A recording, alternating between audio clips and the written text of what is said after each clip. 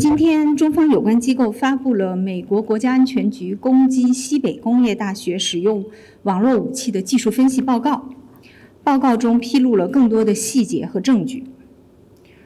中方已经通过多个渠道要求美方对恶意网络攻击作出解释，并立即停止不法行为，但是迄今我们还没有得到美方实质性的回应。我要强调的是。美方行径严重侵犯中国有关机构的技术秘密，严重危害中国关键基础设施安全、机构和个人信息安全。